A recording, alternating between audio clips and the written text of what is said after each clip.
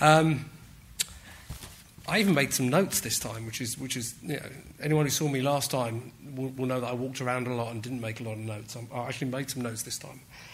Um, so, first of all, thank you to Brian. Um, thanks for the Chelsea references. Thanks to everyone at uh, Computer Weekly for the invitation. Um, thanks for all the speakers. Well, I mean, this, this is such a lineup. Yeah, I, I feel suitably, um, you know, embarrassed, frankly. Um, uh, but, but, but you'll see why as we go through. I, I don't know if, jo- if Paul Toby's still in the room. No, he's gone. He's gone.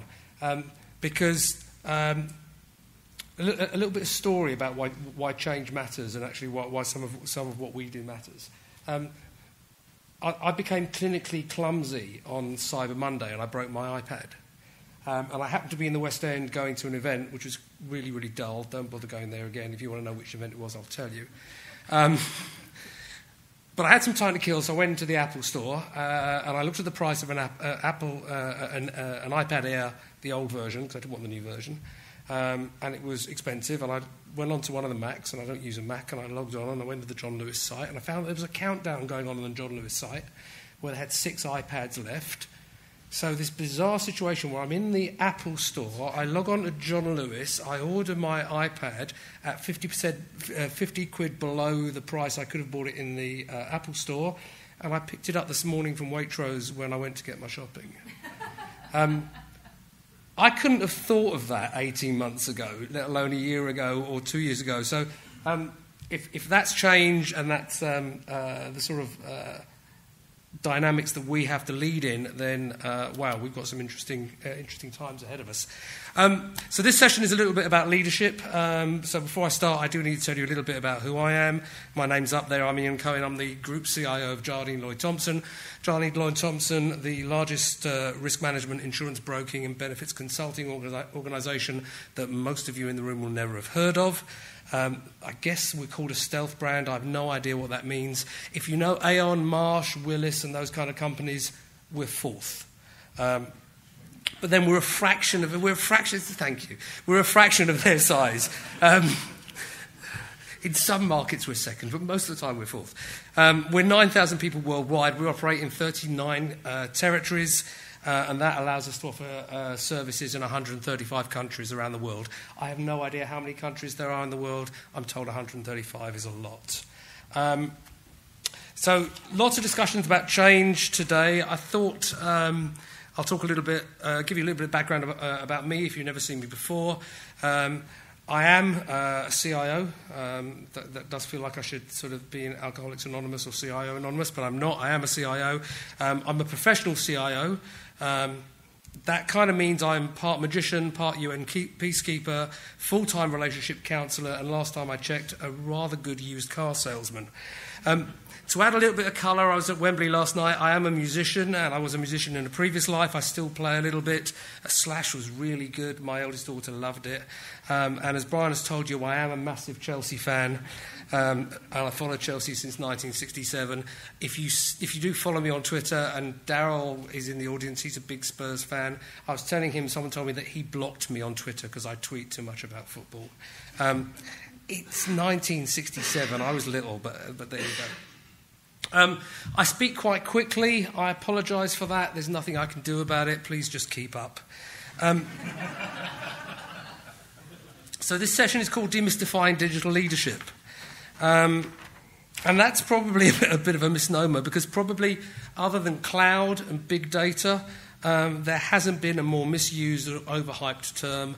Uh, more column inches written in business class magazines and in the pages of the IT press um, probably since the last time the consultants and the supply side salespeople got in front of your CEOs um, and started talking about new shiny stuff.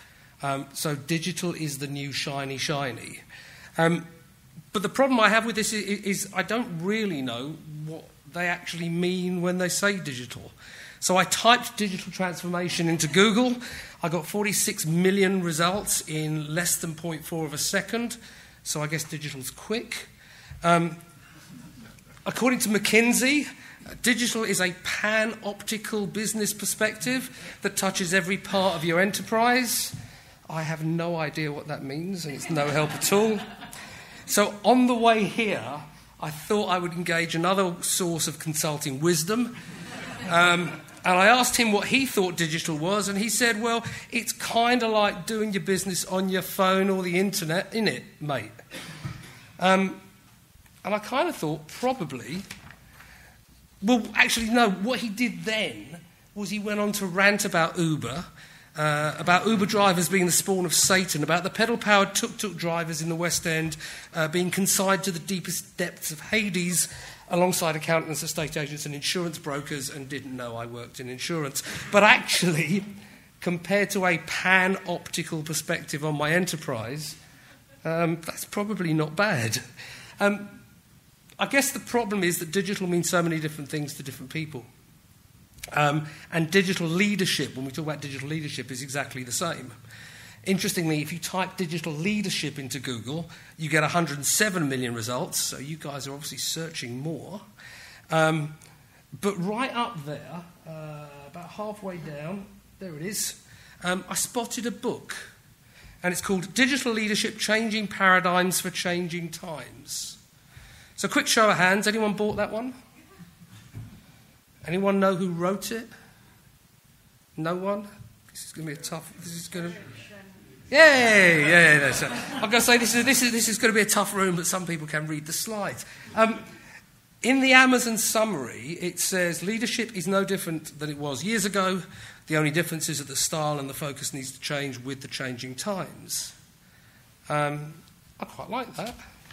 Um, it doesn't come from a Gartner or Forrester uh, analyst.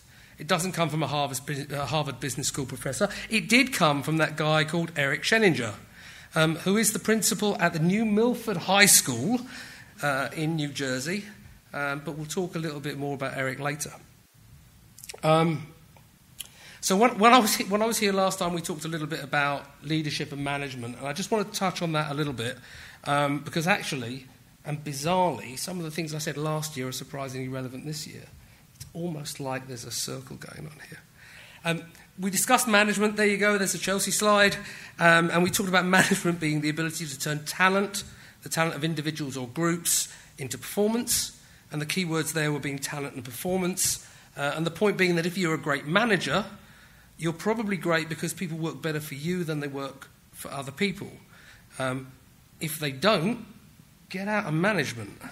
Um, you're probably in the way. The, what the best managers do is they speed up that reaction uh, between talent and uh, uh, of individuals and teams, and they create the performance that creates an outcome. Now that's very different to the primary purpose of a leader, and we talked a little bit about leadership, and the primary purpose of leadership being to sort of rally and galvanize people around a vision of a better future. And that's all about um, bringing clarity to ambiguity, uh, leading through clarity, articulating a future state in simple, clear ways that can be understood and that everyone can get behind. So, why is that relevant to a discussion on digital? Um, well, so over the last few years, and, and, I'll give them a shameless plug because nobody's in, no one from, uh, from, from, this organisation is in the room, uh, I don't think. Um, I've been doing some work with, with um, the Leading Edge Forum. And Leading Edge Forum has been looking at uh, some of the characteristics of digital leadership. Um, and uh, whilst the, the terms that we use for digital leadership are generating those 107 million uh, results on Google, um, and are responsible for all the thousands of competing definitions that are there. Um, what's become quite clear through the research um, is that for the vast majority of the firms out there, and I'd include mine in, in, in that list, um, leadership and digital leadership is actually one and the same. Um, it's not like suddenly everyone in this room was an analog leader last year when we were chatting about this stuff, and suddenly became dig- digital, and you all ran back to your offices and you got that project catalogue out and you renamed it the analog catalogue of 200 2014, and you pulled out the new one for this year's budget and you called it the digital catalogue of 2015, and you took it to your CFO, and your CFO went, Hurrah, it's digital, here's a load of money. Um, it's, it, it's, it's nothing to do with that. Actually, when you boil all of this stuff down, it's really just about change. And all of the speakers in the previous session were talking about change and how change is, is, is the fundamental building block and driving force behind all of innovation. Um, yeah, you know, sure, yeah, the pace is quicker, the engagements and the relationships are a little bit more different. Um, there's more data available um, to both inform and challenge the decisions that we make. The stakeholders come from different areas and we've got new partners, but ultimately it's, it's all about change. You know, we didn't suddenly became, become Cyber Steve at the end of, you know, at, at, at the end of uh, 2012. Um, these are changes to our industries, changes to our business models, changes to our products and services, changes to the competitive landscape, um, new entrants, old entrants with new guns. Um, new ways of working, changed ways, ways, of working, new talents, new skills, things that we need um, in, in, in the organisation. I suppose a wise philosopher, you know, kind of hit it on the head when he said, "We're all going through changes." That's not me. That is Ozzy Osbourne. he also went on to say that people were ins- thought he was insane because he was frowning all the time, but that's that's not relevant today. Um, the challenge is really how do we respond in the, in, in, in the face of all this change? And one of the things that's been quite handy doing this research with the LEF is it kind of pointed to four key characteristics of an organisation that needs to be present um, for a successful response. This isn't what digital is, it's just how you might respond. And, and firstly, what, what, what, the research does is it talks about the age of the engaged executive. Um, and these are the, the senior leaders in your organisation who genuinely believe that IT matters. They accept that they have a role and they need to step up to that role inside the organisation um, and take ownership and drive digital change inside the organisation. The time has gone um, when executives could wear their lack of IT knowledge as a badge of honour. Well, at least I hope so, anyway. Secondly, there's a, there's a need to embrace, and, and, and this was talked about earlier on around, around partnerships, that innovation in products, in services, and even in infrastructure will invariably come from outside your organization. Successful companies are going to embrace and create and participate in ecosystems that will involve partners and suppliers and potentially even your competitors. It seems incredible in my industry where the insurance broking uh, firms are so insular. What might happen if a few of us actually got together and created new products and new services? Next up is a thing called the rise of the double deep employee or the double deep professional. And this is where companies embrace new ways of working, support and encourage, and actively reward a growing population of technically gifted individuals who are um, technically gifted business individuals alongside their commercially savvy business technologists. It's that marriage of people who understand the technology and can apply it in business context, and people who understand the business and are technically literate and can apply it in the, in the, in the technology sense. And finally, we have this view of the enterprise, this revitalized enterprise IT. Uh, Daryl was absolutely right. You can't run agile everywhere. Get over it. You can't. Um, but there are characteristics about, about the, what goes on inside your organization that you should expose to the outside. And more importantly, things that go on outside your organization that you need to welcome in and embrace inside. This outside in and inside out approach to technology. Now, I'm, I'm not saying that anything, any of this is easy or even that the outcomes are certain. This is just research. Um, but it seems hard to argue that engaging executives who recognize the transformative nature of technology growing new partnerships and uh, new ecosystems that drive innovation, motivating employees to be commercially astute business technologists, and revitalizing your enterprise IT seems pretty close to what this digital thing's all about. Equally, look, I'm not saying you're going to lose if your board looks like this, uh, though you probably might. That's the most you know, failed diversity program I've ever seen. Equally, if you look like this, I'm not saying you're going to win. Um, what I am saying, uh, just as before, is that true leadership is about galvanizing your organization around a shared vision of the future. And it would seem that digital leadership is just exactly the same. Maybe we should talk a little bit less about digital leadership and leadership for a digital age. And just to close, and I haven't quite got the one minute yet, but I'll, I'll assume it was there. Um, I'll close with our good friend Eric. Um, his book went on to say, leading in a way that supports the status quo, standardization, outdated practices, and misconceptions related to technology not only does a disservice to our students, but it also renders our schools and profession as irrelevant.